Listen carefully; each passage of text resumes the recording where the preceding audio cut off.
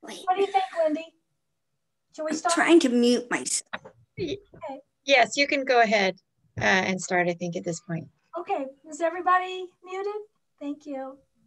All right. Um, good evening, everyone. As all of you know, or maybe don't know, my name is Ellen Fishburne, and I'm chair of the Communication and Church Support at the Presby of San Fernando in California. In case some of you are not in California. Today is the fifth of our educational series put together by our committee called Can't Hide Behind Being Controversial. Today's presentation is titled Lamenting Racism and is presented by Rob Muthiah, PhD. He's a professor of practical theology at Azusa Pacific Seminary. So before we have Rob start his presentation, let's join together in prayer. Lamenting God, we gather together to think about our role in the world. Leaders have led us in the past, and we know prophets are with us now and will surround us in the future. Gratefully, we remember today the Reverend Dr. Martin Luther King Jr. We look to him as a leader who advocated for peace in all times and places. This leader who wrote, Only the word which serves the good and enriches the treasure of love in the world is like to God in truth and fulfills its commitment to the ideals of the divine pattern. We pray for our world for leaders around the globe, as well as for those in Washington, D.C. in transition to rise to the cries of the people. We pay for, pray for strength and perseverance for our essential workers. We pray for the sick, the despondent, and the hungry. We pray for your light to shine as a beacon to peace, justice, and love. Bring with us as we learn, be with us as we learn tonight. Help Rob convey to us the meanings from your heart. We are grateful for this time and will work to move your mission forward in the world, even in the midst of a pandemic. With all confidence together, let us say, Amen. Amen. Amen. Rob? All right. Thank you, Ellen. Thank you for opening us with that word of prayer. It's uh, I appreciate being with you this evening. I want to thank my dear friend Wendy Gist for the invitation to be here tonight. And uh, my understanding is that, that this presbytery has done a whole series of these sessions focused in different ways on, on issues of justice or racism. And I hope to build on that tonight as we talk about how lament can function as an anti racist practice. Just a little heads up that towards the end of the time, there's going to be some, um, I'm going to ask you to put forth some energy. So it's not just uh, uh, sitting here and taking it in, but there's going to be a time where I'm going to ask you to do some work, which will involve uh, needing a pen or something to write with and a piece of paper. There was a handout emailed out. Um, you don't have to have that, but if you have it, um, it will have some some of the passages that I'll be looking at are printed in that. And if you don't have it, you you can always uh, print that out later so you don't have to write down all the passages as we go. Well, let me jump in. I want to begin by telling you a story about a friend of mine, Abigail, who is a pastor in Covina. And several years ago, she and her husband, both of whom are white, adopted a little black girl. And babies grow up quickly. And in no time, Abigail found herself holding her daughter's hand as they arrived at school for the first day of kindergarten. And as they walked up to the school, her little daughter turned to her and said, Mom, why are all the brown children bad? How did this little five year old girl come to think that? She grew up in a family that loved, loves her deeply. Her parents chose to adopt her, which says something of their rejection of the racial hierarchies that play out in our culture. Her parents have worked hard on examining their own unconscious biases and prejudices. And yet, somehow, in spite of their best efforts, their little black daughter got the message somewhere that all brown children are bad. And that's the question she, she asked her mom as she headed into kindergarten on her very first day. In all likelihood, I, I doubt anybody ever told her that directly, but if you've been coming to these events that your presbytery has been putting on, I'm sure that you are aware that racism gets communicated and lived out in ways far beyond the individual racist words that may come across. Somebody didn't have to say this to her directly. Racism is so pervasive that its values get communicated through the skin color of the heroes in our children's books. It gets communicated through the way Black people are treated differently than white people in a doctor's office. I just read a study about this that when patients report pain, doctors are less likely to believe the pain level stated by Black patients compared to white patients. And the pervasive of racism shows up in the job market, where research shows that a resume with a Black sounding name gets 50% fewer calls for interviews than the exact same resume with a name that sounds white. 50% fewer calls. So the problem of racism in our society is more than like one person saying something racist to another. That is a problem, but it's much bigger. It's more pervasive and enormous, enormous, and we have to confront it in every way we can. As part of the anti-racism work that we are called to as Christ followers, I'd like to talk with you this evening about how the biblical practice of lament might serve as a powerful anti-racist practice. And uh, let me begin with a little background. Let me get my screen shared here and tell you kind of how this my, my work with this unfolded.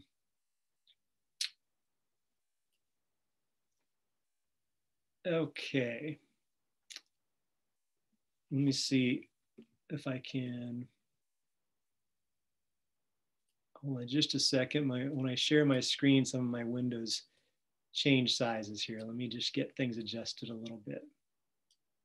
Okay, so for the last three years, I've been leading a team of four local pastors. They're on the top row of this picture, and four professors on the bottom row. And we've been studying together and carrying out congregational experiments to look at this question of how lament might serve as a tool in our anti-racism toolbox. It's a wonder. It was a wonderfully diverse team with, um, you know, men and women, uh, people from different ethnic backgrounds, and uh, the second person, second from the left in that top row. I don't know if you can see my cursor. That's Abigail Gaines, Pastor Abigail. Story I just one of you know I just told you uh, her story about her daughter's first day of kindergarten. And for the first year uh, of, of our team, we met for a half day every month and we uh, read books together. We processed together. We shared experiences, perspectives. We prayed together. We ate together. We laughed together. We cried together. And we learned a lot from our time together. And out of that work, in our second year, we put together what we called church summits, two church summits. These were all day Saturday events with 40 people from our four pastors' churches. And for the first church summit, our focus was on remembering and specifically remembering the lost, the, the, the, forgotten history of racism in the LA area. And so we, we put together a bus tour for, the, for this Saturday and uh, went to a couple places around LA. We went to the Watts Labor Community Action Committee, which I didn't know anything about until we started scouting around for places to visit. And um, pretty interesting organization in Watts. We met with the leaders there, and they have a museum there uh, that highlights some aspects of racism that have played out in, in Los Angeles. And uh, we had time on the bus before and after traveling to do some exercises and processing. And uh, we also visited uh, a museum down by Olvera Street called La Plaza de Cultura y Artes.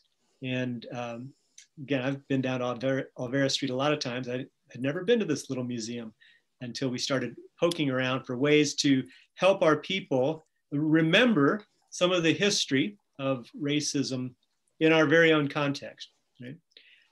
For our second church summit, um, we had another Saturday event, and this involved workshops and immersive experiences to expand on understandings of both racism and biblical lament. And that wrapped up with a, a worship service of lament. People were invited into that experience. And uh, let me just say a couple more things, just by way of intro. I'm not going to spend more time on, on that background, but we carried out these, these church summits for two reasons. First of all, in order to lament, and specifically to lament, lament racism, we have got to remember well. We have to have eyes to see what is really going on. Okay, so part of the process of lament, we can't, we don't lament out of a vacuum. We, we have to remember uh, how racism has played out uh, when we come to lament racism in, in specific stories and uh, incidents and, and histories. And then, of course, in order to lament well, we need to understand better what biblical lament actually is. And that's where I'd like to go this evening, spend most of our time focused on that. Uh, and while making some, so I'm not going to do much with uh, understandings of racism and the background of that. You've been working on that in, in other sessions, but I, I want to definitely make connections as we go. Lament, to a large extent, is a lost practice in the church today, but it has deep biblical roots. And here's kind of a, a little description of lament to get us started. Lament in the Bible is a way of speaking or praying to God that involves a heartfelt, raw crying out about a bad situation, about something that is wrong. It's a way of saying to God, here's the situation, and I'm not happy about it. Okay, and I'm going to flesh that out. That's such sort of a uh, a working description. We find laments throughout Scripture. We have a whole book named after this practice, right? The Book of Lamentations, the Book of Job is essentially one long lament, a crying out to God, right? About a third of the Psalms are Psalms of lament. And we get lament in different places in the New Testament as well. The one that, that uh, I think is probably the, the best known is, is the lament spoken by Jesus on the cross when he cries out, My God, my God, why have you forsaken me? And that is his personal lament, but it's also, he's quoting from Psalm 22. And Psalm 22 is a psalm of lament. We'll look at that more in a few minutes. Let's look at some of the themes that come through in biblical lament, because this practice of crying out to God can take a number of different forms. And actually, that's one of the reasons I find it so powerful when, when we focus lament on racism, is because people from all different social locations can use this practice of lament. If uh, a person who benefits from the system of whiteness can pick up lament and use the practice, a person who bears the brunt of racism can pick up lament and, and use it as a way of, of crying out to God. But there are some different themes that, that are probably more appropriate for some than others. So the first theme I want to look at, the first theme of lament is that of repentance. Here's one example in Psalm 51. And if you have the handout, uh, that it's printed for you there as well. Here's Psalm 51, verses 1 and 2. Have mercy on me, God, according to your faithful love. Wipe away my wrongdoings according to your great compassion. Wash me completely clean of my guilt. Purify me from my sin. So we talked about lament as a, as a way of crying out to God about something that isn't right. Well, the thing that isn't right here in this psalm is my own sinfulness, right? The, the psalmist is repenting, saying, I've, I've gone astray. I'm guilty and, and I need to get back on track. God, forgive me. Uh, these are, are also called penitential psalms. And when it comes to racism, there's a, a whole slice of our society that, that this, this type of lament would be appropriate for, a lament of, of repentance. My pastor friend Abigail shared as she reflected on, on her kindergarten daughter's question. You know, her daughter shows up at first day of kindergarten and turns to her mom and says, Mom, why, why are all the brown children bad? And, and Abigail wanted to jump in and try to fix it. Uh, and she realized that that was actually part of her white identity playing out, assuming she could jump in and fix everything. And that was her first response. But as she shared with, with myself and our group, part of her response needed to be lament. Part of her response, as she was able to step away and reflect on this personally, was to lament for the ways that she had participated in and blindly benefited from a system of whiteness that privileged her and that actually created a situation for her little black daughter experienced something really differently. So repentance is one theme that, that comes through in lament. Another is this theme of accusation. Psalm 44 gives us one example. Uh, and these are accusations actually uh, made of God, accusing God of things. Here's Psalm 44 You've made us a joke to all our neighbors. We're mocked and ridiculed by everyone around us. You've made us a bad joke to the nations, something to be laughed at by all peoples. So here, this is still crying out to God about something that isn't right, but the focus is pretty different, isn't it? We're mocked and ridiculed by everyone around us. And you've done this, God. You've made us a joke to all our neighbors. This is how the psalmist feels. And so cries out to God with this, with this accusation. Seems to me that when it comes to lament, lamenting racism, uh, there are there's a a big slice of our brothers and sisters, people of color, who have borne the brunt of racism, who, who may find that this theme and lament uh, works for them, it is the way that they, is a form of lament that, that may uh, be, a, that they can use to, to voice what they're experiencing and feeling. You know, it's interesting to reflect on, on this, and there are a couple other themes that we'll come to that, that uh, I think are well, they, they take us outside the bounds of what nice Christians do, right? Because the church has taught a lot of us that you don't talk to God that way. You don't accuse God of things. Um, but the psalmist does it. There's an honesty to what the psalmist voices. And through the laments we have in scripture, we are invited to be honest with God in the same way. Another theme that comes through in lament is the theme of abandonment. Lament can include cries of abandonment, as we hear in Psalm 22. I already mentioned this. Jesus quoted these words on the psalm. This is a different version than I than, than many of us are, are familiar with, but same idea. My God, my God, why have you left me all alone? Why are you so far from saving me, so far from my anguished groans? My God, I cry out during the day, but you don't answer. Even at nighttime, I don't stop. I mean, the anguish in this, the pain, the, the abandonment that comes through is, is powerful. Uh, it's, it's emotionally just, just raw. And uh, I think that emotional rawness is, is a gift of lament. It, it invites us into that space in ways that, that some of the other anti-racist work the, the, I'll say this uh, at other places as well, but I don't think lament is is the magical answer to undoing racism, and it's not like the tool uh, that, that, surpasses all others.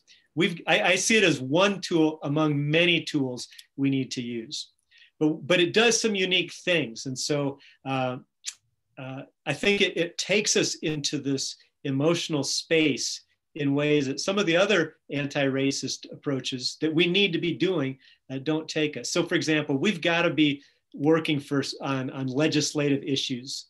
Uh, but as much as I try to be involved in those, those don't, those don't, um, those aren't the channel for my emotional processing in the same way. So we need, we need multiple tools. Okay, uh, let's go to another theme, the theme of despair. Uh, kind of related to that theme of abandonment. Here's a verse from Lamentations 1 16. Because of all these things, I'm crying. My eyes, my own eyes, pour water, because a comforter who might encourage me is nowhere near. My children are destroyed because the enemy was so strong. As, as I've already mentioned, scripture gives us permission to be brutally honest to God uh, about how we are feeling. And, uh, and the, the, the, the, author does that here. The author, and as part of the, the lament here, the author rehearses some of the history leading to the current situation, right? Listen, listen, my children are destroyed because the enemy was so strong. So the, the author is remembering what the enemy did. The enemy was so strong and created a, a circumstance where my children are destroyed. I'm in this current situation. So uh, again, this remembering is essential for our work of lament.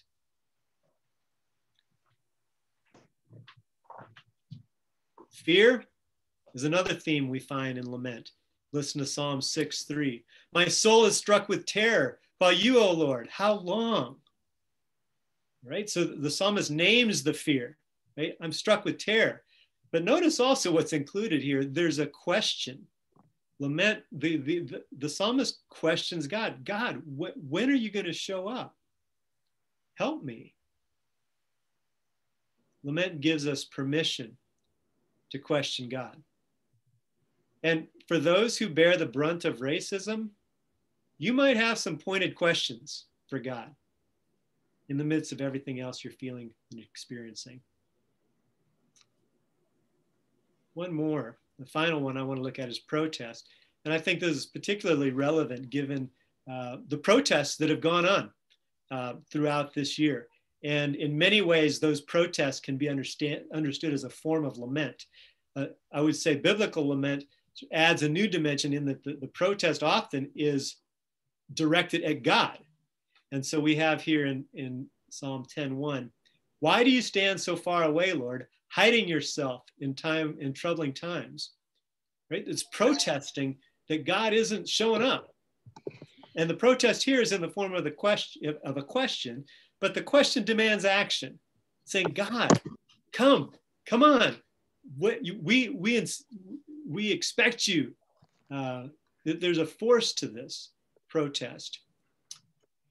And, and what biblical lament shows us is that the, that anger of protest, and here, not just directed at institutions or policies or other forms of racism, but actually protest uh, uh, directed at God. The biblical lament shows us that's a legitimate part of prayer. And, uh, you know, a lot of us may be comfortable with protest actions uh, that focus on policies or institutions, but have you ever considered what it might look like to also direct your protest at God? Again, a, a lot of us, the way we, you know, I grew up in the church. Yeah, I would guess many of you did, and uh, and a lot of us got messages that, that that's not uh, it's not it's not appropriate to address God in that way. But uh, but the psalmist and other writers uh, show us something different. They have an honesty uh, with the way that, that they speak to God, and they don't hold back. Scripture shows that, the, that these can be um, an acceptable uh, expression of faith. And interestingly, in the research we did with these churches, uh, along the way, we had we had the participants journaling at different points, and and uh, we collected those so we had some information to some some data that we that we reviewed and, and chewed on and and we found that a number of our participants af- after going through an experience of lament being invited into a space where they wrote prayers of lament and and some different aspects of expressing lament many reported that this raw crying out to god sometimes challenging god actually when they came away from it they actually felt renewed in, in their faith. Several said they, they commented on how they, they felt that this way of speaking honestly actually helped them to feel more deeply connected to God. Thought that was a, a significant finding in the work we did. Um, on this theme of protest, let me share a quote from the author Rebekah Eklund, seminary professor, uh, who writes this As protest, Israel's, Israel's lament calls on God to account for the way things are wrong in the world and demands that God listen and respond, to set right what is wrong, mend what is broken, and bring light to the darkness, just as it is God's essential character to do, to do so. God is a God of mercy, let there be mercy. God is a God of justice, let there be judgment on the enemy and the evildoer. When Israel laments, It is God's faithfulness to God's promises that are at stake. And I want us to reclaim the lost art of lament because I see it as a faith infused way to contribute to the struggle against racism. It's a struggle we have to engage not just out there in the broader culture, we certainly have to engage it there, but we also need to engage it in our own churches and within ourselves as well. I want to say just one more thing related to this, uh, to lament in scripture. And this isn't so much thematic as it is structural. And I've got two more uh, snippets uh, of lament here. And notice that lament can be, uh, in, in addition to all those themes we went through, lament also can be individual or it can be communal. So this Job passage is an individual lament. Why did you let me emerge from the womb? I wish I had died without any eye seeing me. Then I would be just as if I hadn't existed, taken from the belly to the grave. So this is first person. Right? It's very personal, and uh, you may, when we get to when we when I invite you to write your own laments here in a, in a few minutes, uh, maybe it will be first person. But th- we also have examples of communal laments, and here there's plural language. Uh, I'm sorry, that that First one is first person singular language. The second one is also first person, but it's it's a plural language. Daniel 9 5. We have sinned and done wrong. We have brought guilt on ourselves and rebelled, ignoring your commands and your laws. So here the author is speaking for a whole community. Uh, and this is one of those laments of, of uh, repentance. There's penitence, penitence here related to this. Um, well, we're going to keep moving towards writing our own laments, which we'll do here in a few minutes. As I mentioned, you'll need uh, a pen handy and some paper. Uh, and I want to, uh, I would invite you to start thinking about this question. When it comes to racism, what is it right now, tonight, in this space, given the things going on in our world, given the things you've studied over the last months, given the things going on in your own life, what is it that you might want to lament when it comes to racism? Maybe it's really personal. Maybe it's more on the broader societal level. Maybe it's something about how our church has been complicit in racialized patterns. What is it? So as you think about that question, I want to show you a video clip. clip. And this is um, of uh, Pastor Anthony Powell. He's one of the pastors in our research team. And he's telling a story that for him connects to um, to lament. And um, uh, this is from a, a, video series that our team put together, uh, six sessions on this topic, and I'll say more about that later. But let me get started. This is about a three minute clip um, where Anthony tells a story from his life and how, um, and he starts to re relate it to lament. He doesn't write his own lament prayer in this, but but it can help us start thinking in that direction. And the uh, the woman in this uh, is uh, Pastor Abigail that I mentioned to you already, and then I'm in it as well. So let me start this for you. So we're going to continue our conversation on the intersection of lament and racism, but I just want to pause for a moment and just share a story from my own experience. Um, there was a time not too long ago where I was going to be taking my daughters to their very first father daughter dance. Brother got to show up at the doorstep with flowers for his special ladies. And so I'm coming back from working out in the gym. Um, and so you can get the picture cut off shorts, cut off shirt, hoodie, little sweaty, little disheveled, but super excited and full of enthusiasm. So I go to the local flower shop in my neighborhood. And as I walk in, I see that the flower shop is relatively empty. Um, the clerk is helping one customer. And as she's engaging with this customer, it's quite easy to tell that she's throwing throwing out the red carpet. She's giving him the royal treatment. She's taking her time. She's showing him different arrangements. Like he's having uh, just a great time with this clerk deciding for his floor arrangement. So I wait at least 10 minutes for this exchange to finish. Then once she's done, she helps that customer, sends him on his way, and I take a step towards the counter because I'm next. And she looks up from the counter, takes one looks at me and says, can I help you? It wasn't the can I help you as in like how can I be of service to you? It was that uh, can I help you as if I was lost, mm-hmm. as if I did not know where I was. To which I began to explain, hey, I have this special night that I'm having with my girls, um, and I'd like to pick out a special corsage for for them. To which she responds like, okay. And I say, hey, I would love your help in figuring out what to get for my daughters. To which she then responds, how would I know what they would want, what they would like. Do you have any idea what they would want, what they would like? And so I start to say, well, yeah, one of them likes pink, one of them likes purple. And she stops me in my tracks and says, you know, um, I don't think that I can help you. I wouldn't even know what kind of things your daughters would like. But I do have a suggestion. There's a Vons right down the way, and I believe that they have a flower section. You might have better luck by going there and purchasing those corsages for your daughters. So as this whole interaction is happening, I'm, it's very clear that I'm not wanted. It's very clear that she probably took a look at this black man with dreadlocks and earrings and made some assumptions about whether or not she felt like I was worthy of her service. So I end that experience, and there's all kinds of things that are being brought up within me. I'm angry. Mm-hmm. I'm heartbroken. I'm disappointed because now I've wasted so much time at with at this flower shop with this clerk that I don't have time to go get my girls the corsage that their daddy wanted to present to them. So what do I do with this?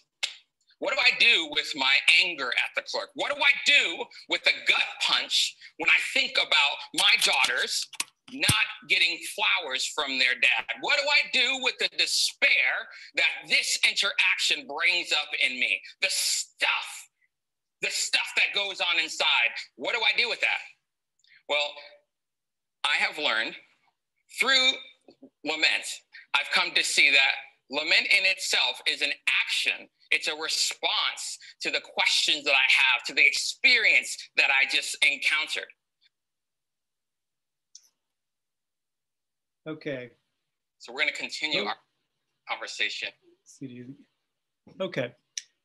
Uh, well, as Anthony said, he he found you know he goes on to say some more about that practice, but uh, for him, this was uh, lament has has come to be a powerful way of praying, of speaking to God, of expressing uh, expressing what's going on inside of him, and uh, in our in those church summits that I spoke about, we had a time where people were invited to write prayers, just like I'm going to invite you to here in a moment. And I'd like to read a couple examples that come out of those summits. And people had index cards. So that's about the length. We gave them, you know, seven or eight minutes. So nobody expected, you know, fine pieces of polished literature. That's not the point. It's just a, a start in, in expression. And so let me let me read a couple of these to you. Here's one that, that somebody wrote. Oh Lord God Almighty, why? Why? Why do you allow us to continue to hurt each other, physically, spiritually, emotionally? Help us to see the folly of our ways. Help us to take our cares and pains to you and not take them out on each other. You alone can change hearts. You, not laws, prisons, and guns, can help us stop hurting each other. Okay, so that was just a, not a very long prayer, but but a prayer where this person was able to start pouring out uh, the, the feelings. Here's here's a second one. You once took a people through a wilderness into a land of milk and honey, but I am a stranger, an alien, a forever foreigner in my own land. Where are you from? How, how is your English so good? This is supposed to be the promised land, one nation under God. Why am I still homeless? If these aren't my people, who is? Do I have a people? Or will I forever be alone, still in this strange and weary land? So, those are a couple samples that other people have uh, written. And now I've been building up to it. And uh, I want to invite us into a time of uh, invite you, if you're willing, to write your own prayer of lament. And um, I'll give us about, I'll be the timekeeper. We'll take just about seven minutes. Uh, so it's not very long, but uh, it's time to get started. And um, I'm actually going to share a, uh, this is a, a, pattern that we find in a lot of lament psalms. Um, and if it's helpful for you, you can follow the pattern, but many, but you're also welcome to say in whatever form you want to. The, the basic pattern in many lament psalms, uh, it begins with a direct address of God, involves a naming of realities, an appeal for specific action, and then a concluding affirmation of faith. Although I'll note there are, uh, well, most of the lament psalms end with that affirm affirmation of faith, faith. There are at least two of them that don't. They just end. And um, personally, I, I, find those, I, I'm really drawn to those because sometimes I am so mad or so upset about issues of racism that I'm not always in the moment ready to turn to that affirmation of faith. Um, I'm blessed to be in a community with people who who can hold that hope sometimes when I can't, and hopefully I can do the same for them at, at other times. But anyway, this is the the most common pattern does does include that, and uh, so you can use that uh, pattern if if you would like. And uh, I'm uh, go quiet now. I'm timekeeper. I invite you to write your own prayer of lament. And then when we come back together, I'll see if there's any, uh, if there's some who would be willing to, to share those. I'm not going to call on anybody, but, uh, but we'll, we'll go there. So go ahead and, and if you're willing, uh, spend some time writing your own prayer of lament.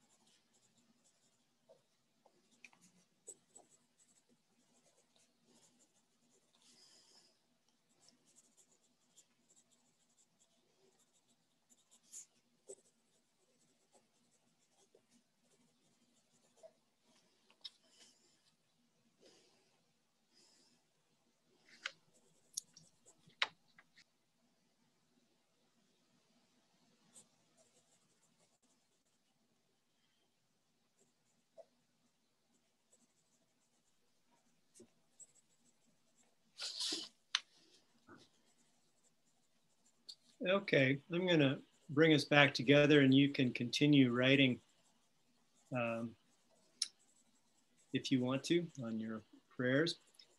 But uh, I would like to ask now if there's anybody willing to read something of what you wrote, the, the whole prayer or some part of it. Uh, and you can do that either by uh, raising your hand, by clicking on the reactions, and then there's a raise hand button. Or if you don't find that, you can just unmute yourself and start sharing.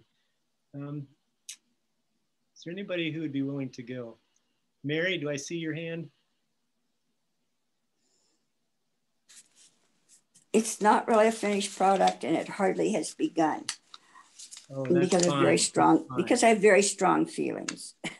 so it, it doesn't and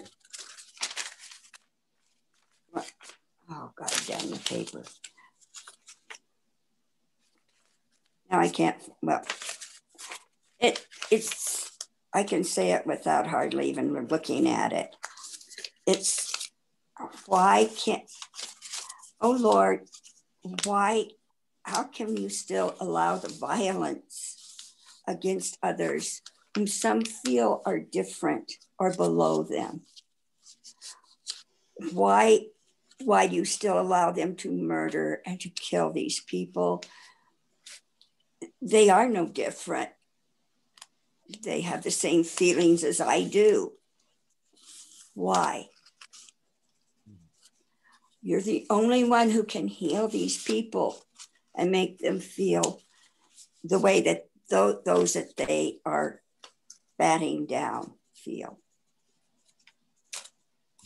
And that's and that's not the words I wrote because I can't really right now I can't read it. So I'm fine. my writing has gotten really bad as I'm turning as I'm getting older. oh, that's fine. Thank you for sharing that and for, for being the first to go. And, uh, and as I, I said, we certainly don't very expect strong feelings on this subject. So I'm very sorry. I'm just really. no, thanks. Thanks for sharing that. Is there another person who would be willing to read uh, read for us what you wrote, Mike? Yeah. Lord, I have been bound by my ignorance. By your grace, I have begun to see my failings and compliance. Release me, my God, to join in the solutions needed to lead me to the reconciliation and unity with my brothers and sisters. Hmm. Thanks, Mike. Appreciate that. Yeah, and even though we didn't take very very much time, uh, already we're hearing some really powerful things come through in your prayers. Somebody else who'd be willing to read for us. Uh, is it Meryl?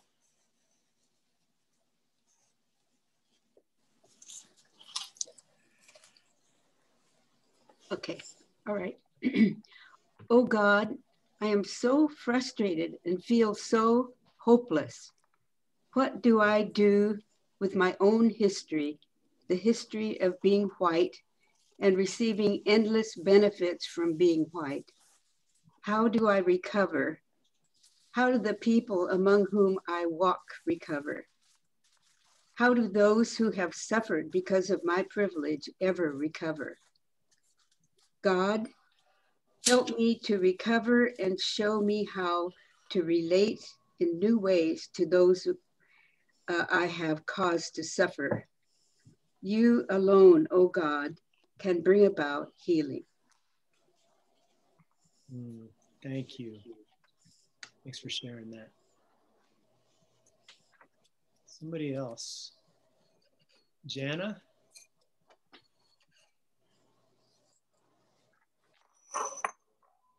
Oh, you're on mute though. We have to get you to unmute. I'll unmute myself. Okay, thanks. Dear God, why is there so much hate in our country today? Why are all these people, this mob in DC, so angry? How can this be happening today? Please, dear God, show them, show us your love, your light in all this darkness and division. Please, dear God, stop the hate and the evildoers. I love you, dear God, and know that you can help us change our world. Amen. Thank you. We have time for another one or two. Oh, we got more time than that if others are willing to share.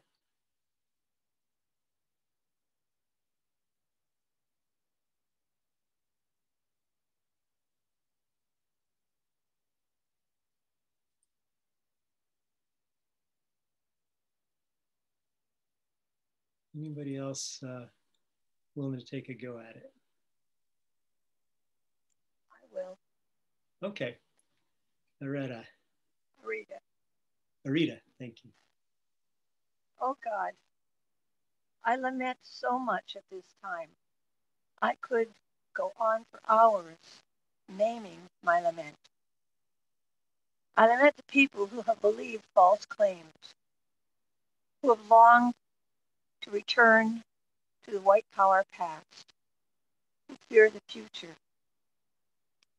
I appeal to you for help, to help truth prevail, to blow the embers of hope, the embers of justice, the embers of goodness into the fire which cleanses evil and permits new life. Like the controlled burns which maintain healthy forests, please bring to us out of this time of trauma the fire in the soul of all who watched that horror. Help us to turn that fire into controlled burns to be used to get rid of the underbrush of evil and bring healthy life back to all of us.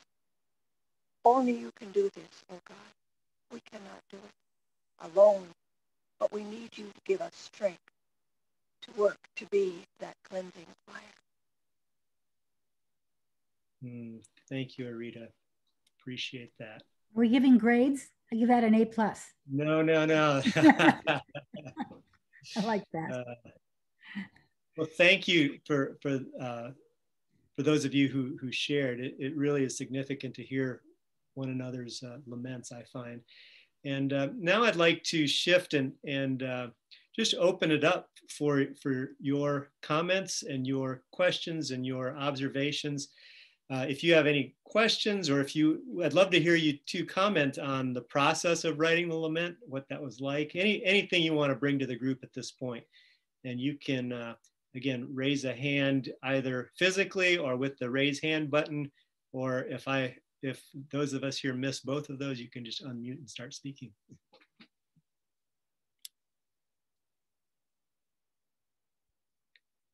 Susan, did I see a hand? Yes, thank you.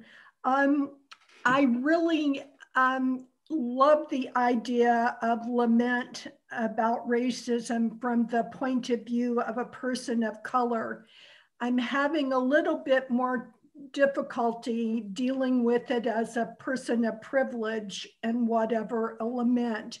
One of the things that in um, that I have been told about lament is that if you can do, do something about it, then it's not so much a prayer of lament, but a prayer of confession. And so I maybe that's the the repentance lament. Is that what the intent is behind that? And I find it a little bit, I I think easier to come at it from that point of view. Mm, yeah, yeah. Thanks for those comments. Uh, I guess I I don't really I don't quite. Uh, I guess I see lament as expressing the individual's feeling or the community's feeling in the moment, and I don't think that it. I don't think it necessarily from what I see, it doesn't necessarily divide out along the lines of whether it's something we can do something about or something we can't. So for myself, when it comes to lamenting racism, I think I have a huge responsibility to act. There are things I can do, but along with that, uh, I think it's it's appropriate when when I'm feeling, you know, the emotion of it to to to call out in those ways. Yeah, thanks for bringing that idea to us. There are others. David. Well, oh, we're having a hard time hearing you. Would it be possible for you to to put the screen uh, show us again the the format? I want format's a little strong, but the components of lament that you have observed when you had those four points. The, uh, thank you.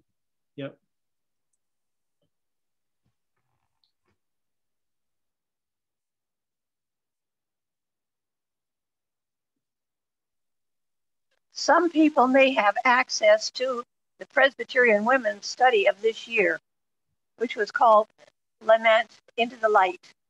It's all about laments, and those four elements are cited in that document. It's a, it's a good study guide.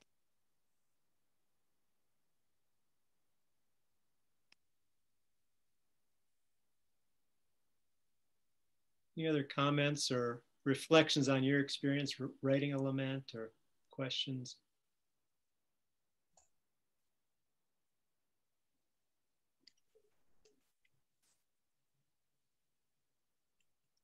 Joe. I have found lament. Um, we did the women's study, and it really um, brought lament forward, and it has been so helpful in this um, time of crisis in our country, in our world, in the pandemic. And even personally, I have a sister who lives in another state, and she is just so frustrated what's going on. But she said, as a Christian, you know, she said, I, I, I can't complain. I can't, you know, I have to just always take it. I just always have to be upbeat. And it's like, no. And um, I shared the study with her, and she just wrote lament after lament after lament. And it has been just so freeing for her because she's still, I mean, she's addressing God, but yet it's okay. It's okay to cry. And it's just been a wonderful gift. Good. Thanks for sharing that. Uh, John and Connie's screen. John?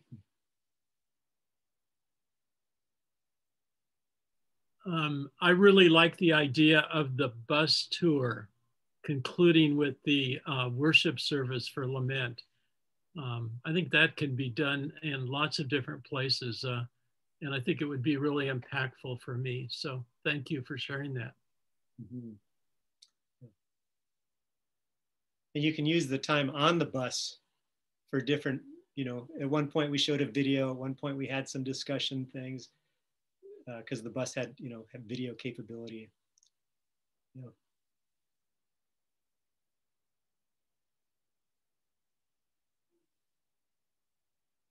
Any other comments for the group tonight?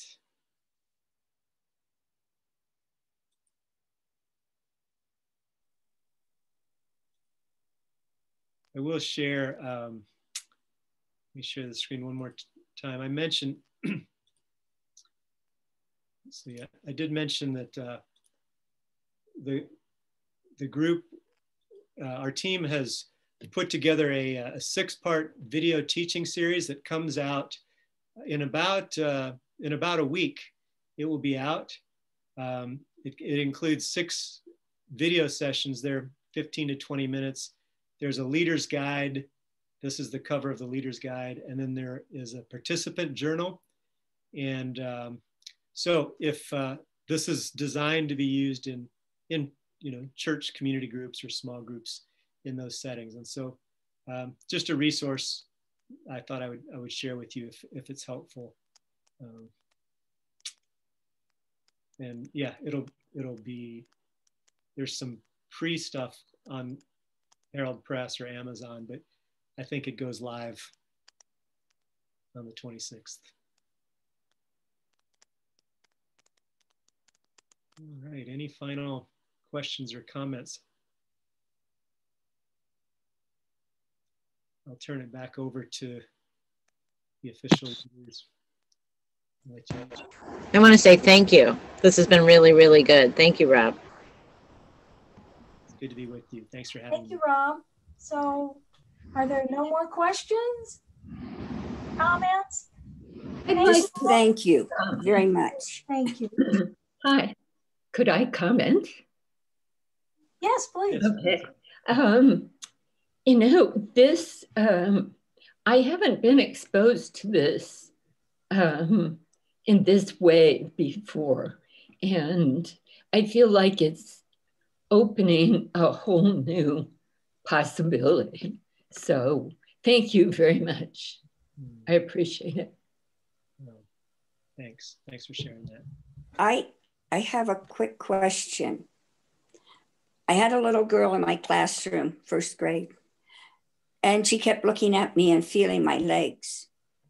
And she looked up at me, and all of a sudden she said, You're white. Now, if that isn't a stop moment in your life, I don't know what isn't. She was just, she kept, for, for uh, every time we were sitting in circles, she would be, she, she kind of touched at me and looked at me, and she finally looked at me, and that she came to that conclusion. Now, how do children, this, this is a, a question for, this is how children learn. This is, she's never been taught that there's anything wrong with this but she she didn't even realize it until she kept saying, what you look white but she is it rubbing off? Was her i her feeling i think. Yeah it's an example of of uh, how these things come up as questions for young ones and and and that's an opportunity for us then to uh, ask them questions and, and guide them in, in how they process it right? And, uh, rather than reinforcing you know some of the messages from the broader culture yes how, how might definitely. we narrate for them it's like yeah you know maybe you you, you know offer a, a new narrative to what they've observed oh yeah. yeah. and this was in the day when you would hear on our playground white patty so yeah this was really a time of a lot of teaching a lot of mm-hmm. understanding I see uh, Arita's hand up for sure, and I see Juan is unmuted. So perhaps we have Arita and Juan wanting to say something. I was going to suggest that our presbyteries organize a bus tour like that. It sounded like a tour of our of our history of racism and its effect. Um, I mean, David, you could, what you have suggested, what we know about the housing effects in Pasadena, for instance, but we could highlight that in a bus tour that would be very educational and and impactful, I think. My, my two cents. Thank you, Alita. Yeah, I agree, Arita. Um, Rob, thank you, and thank you, everyone. I think this has been very, very moving, um, and and I wish we had the opportunity of sharing more of what uh, what we felt uh, and how we what we wrote. Um, so that kind of leads to my question. You know we we are we have our time constraints and our limitations. Um, rob what has been your experience after the after the process? Have you been have you incorporated lament into that particular group or your communities of faith your churches in a in an ongoing basis uh, or kind of just um, an exercise a moment or a time and a pilgrimage, so to speak, and then and then kind of uh, going back to um, to the regular activities, hopefully with some kind of change um, internally and and in our perception of of how um, God wants us to live. But um, is this an ongoing process, Rob? Do you see this as something that can be incorporated into the life of the church, or just something that you would recommend for for a gathering or a, or a trip or something like that? Yeah, yeah. Thank you for that question. I, I definitely think it should be an ongoing part of the church. I don't know that. You know, I don't think we should live in lament always, but mm-hmm. uh, but there are times where where it's it seems like the situation really uh, invites it. Uh, situations that come up, and so a couple a couple things. So in terms of uh, incorporating it into the life of the church. Uh, actually, in that handout that was emailed out with you, um, the last page is a, a psalm of lament worked into liturgical prayer that's appropriate for use in a church worship service. And so that's one way that uh, you know I've seen and tried to keep folding in lament. Um, another way related to this specific process of having congregants write their lament prayers, uh, one thing we've done is collect those and then use those in future worship services as some, you know, to, to read some of those as part of our prayers of the people. Um, and then I think that there are different seasons of the of the church year that really lend themselves well to it. So, you know, a, a session like this really sets us up for uh, coming back to it during during Lent, right? When when it, it is a time of introspection and repentance, and and uh, so we can build in in the seasons of the church calendar. We can build on on what we learn in other times. Mm-hmm, mm-hmm. Wonderful. Well, great ideas. I wanted to mention a couple of things. One is there's a group in the press within the presbytery preparing a prayer of confession for to be distributed, to be shared this and and used by congregations as as they seek uh, as they see uh, fit. Um, and and that's the um, uh, developing leaders of color uh, task force. And also we're working on a on a, a Lent a devotional series and hopefully yeah i think it, both those are wonderful opportunities for us to mm-hmm. share um, uh, both our our brokenness and um, our sadness and our hope in mm-hmm. christ and uh, that's that's for sure mm-hmm. yeah good those sound like great resources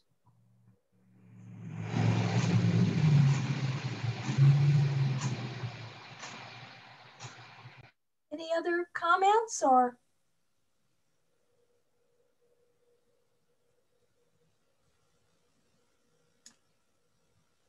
Well, Don and Connie again, I think, have someone have something to say. Oh, yeah. okay. I wonder if, uh, if you, Rob, could talk a little bit about how you walk into lament when you have people in your congregation or in your group with very different perceptions of what's going on, what the issues are, where the pain and the brokenness is. Yeah, yeah, it's it's really important to consider that. So, um, first of all, lament can be directed at, at a lot of different things. So, in my my work has been specifically related to lament and racism, but uh, you know certainly there are other things that go on in, in the life of a congregation that, that may call for lament. Related to racism, I think it takes some setup. I, I mentioned a few times that the lament requires remembering. And so I don't think it probably works to show up on a given Sunday with no pre-work and no background and, and you know, and ask the congregation in a deep way to stay, step into lamenting racism because, like you said, people are going to be kind of all over on that. Um, so it, you may need to to do some of the, the pre-work of, of remembering. And then uh, uh, one of the things I find about lament is that it is fairly open. And so even after that pre-work, you know, that work of remembering, if people aren't all at the same place, uh, that's actually there probably aren't going to be right they are mm-hmm. going to be at different places and we found that in our work with with these congregations not everybody was at the same place but but lament, it, it's not prescriptive. So people can, can say what fits for them. And, and I think, you know, if, if I'm talking with somebody who doesn't view racism the same way, but they're willing to enter into it, there's something they can say about why racism isn't good. It might not be the same reasons I have, but uh, and and it's invitational. If somebody isn't ready to do that or they don't want to lament, then oh, okay, that's you know it's it's we, we invite we invite one another we invite our people into the space um, and that's as far as we can can lead um, and then people decide if they want to enter into that or not thank you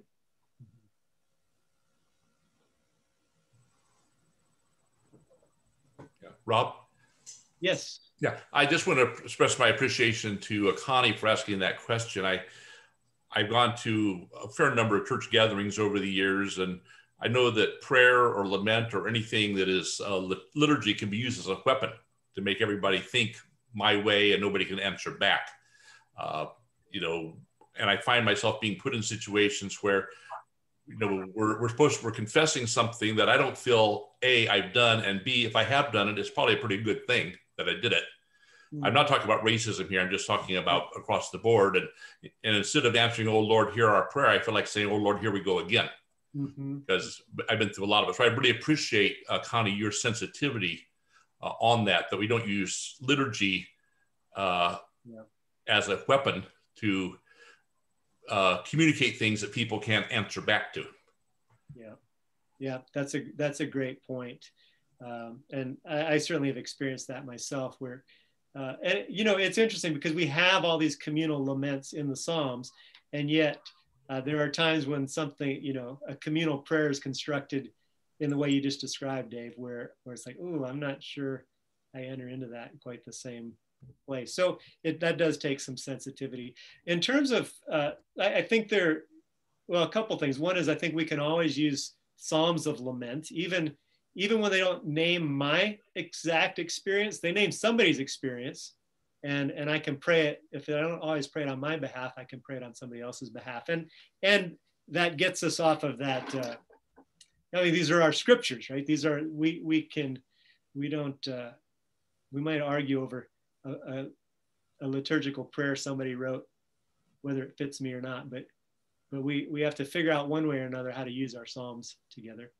Um, another piece that I think is kind of interesting to build into, if, if there are ways we have people write their personal laments, what, something along the lines that we did tonight, uh, as those are read, uh, it's it's harder if I hear somebody else uh, offering their own personal lament, that's not something for me to argue with, right? I mean, if I'm asked to to read read a lament and I might not agree with it, that's one thing. But if somebody else is reading, that's their experience, and and it doesn't seem to put up the the resistance quite the same way, um, you know, as as ask as it, it could if if a communal prayer is not constructed appropriately. Okay, we're just about out of time. So any last minute comments? All right, well, I'd like to thank Rob. All of us thank him. Thank you, Rob. Thank you for having me with you. And thanks for all of you being willing to show up here month after month to, to engage the work. Yeah. And thank all of you for being here. I just want to mention uh, next month, we will be having on the 11th at 7 p.m., we'll be having our sixth educational series, and it's titled Starting the Conversation What Does the Bible Say About Justice? And it will be presented by John Illian, who is up in my right hand corner, and he's waving. and um, do you have anything to say, or just that you'll be there? You said you said it all. That's good. Okay. That's good. We hope we see all of you um, next month. And Rob, thanks again. And maybe you'll join us next month. We'd love to see you. Thank you, thank you everybody, and have a nice evening. Thank you. Thank you. Bye -bye. Yes, thank you very much. Bye.